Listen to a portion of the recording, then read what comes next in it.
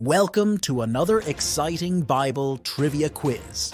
This week, we are deep into the Old Testament with 20 questions about healing and restoration.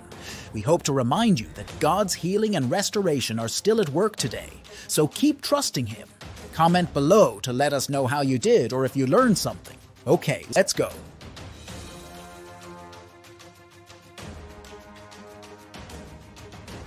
Who was healed of leprosy after dipping seven times in the Jordan River?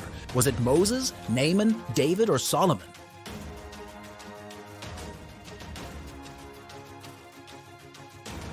It was Naaman, thanks to the slave girl's advice, as we see in 2 Kings 5.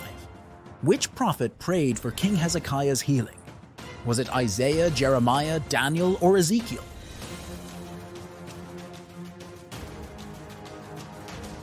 Hezekiah was healed after Isaiah prayed. Read 2 Kings 20 and trust God for your healing. Which prophet saw a valley of dry bones coming back to life as a symbol of Israel's restoration? Was it Isaiah, Jeremiah, Ezekiel, or Daniel?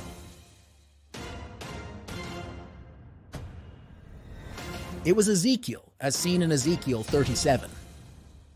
Who was restored to land after living in a fish's belly was it Jonah, Noah, Adam, or Abraham?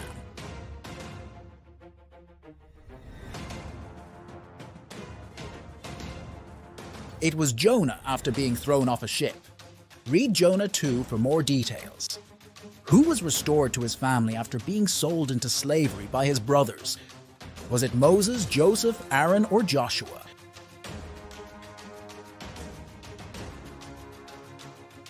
It was Joseph after forgiving his brothers. Read more in Genesis 45. Who was healed after praying for his friends? Was it David, Solomon, Daniel, or Job?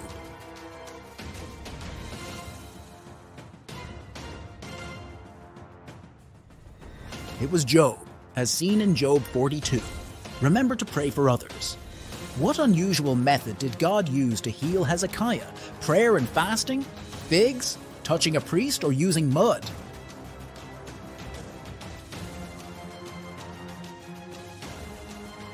It was figs, unusual indeed. Read Isaiah 38 for more. Who prayed and God restored his strength? Was it Saul, Samson, David, or Solomon?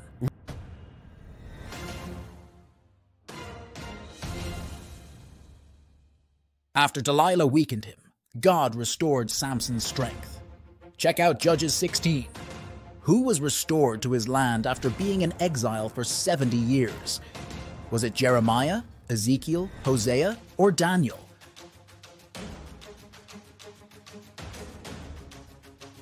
It was Daniel, as seen in Daniel 9.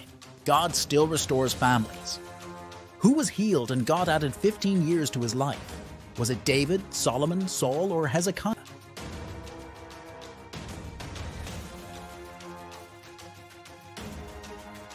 In 2 Kings 20, we learn it was Hezekiah. Your life is in God's hands.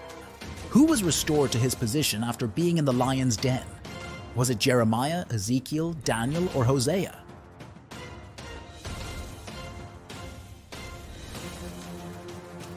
It was Daniel, as seen in Daniel 6. No weapon formed against you shall prosper. Who was healed from his leprosy after his servant girl suggested he see the prophet in Israel? Was it David, Solomon, Naaman, or Saul?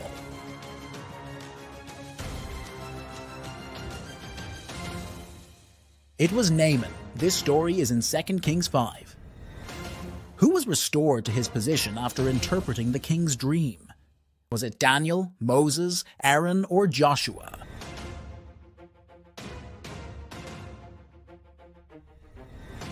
It was Daniel, as seen in Daniel 2. Use the gifts God gave you. Who was restored to their position after being in the fiery furnace? Was it Shadrach, Meshach, and Abednego, Jeremiah, Ezekiel, or Hosea? It was Shadrach, Meshach, and Abednego, as seen in Daniel 3. God can restore you. Who was healed from his sickness after God added 15 years to his life? Was it David, Hezekiah, Solomon, or Saul?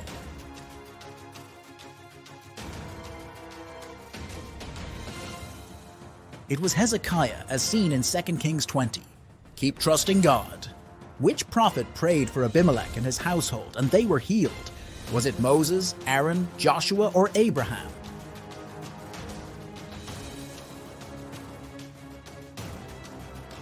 It was Abraham. The story is in Genesis 20.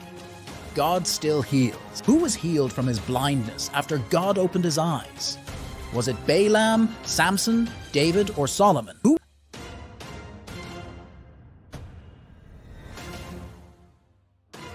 It was Balaam. The story in Numbers 22 includes a talking donkey. Which prophet prayed for the healing of the land after a severe famine? Was it Elijah, Elisha, Isaiah, or Jeremiah?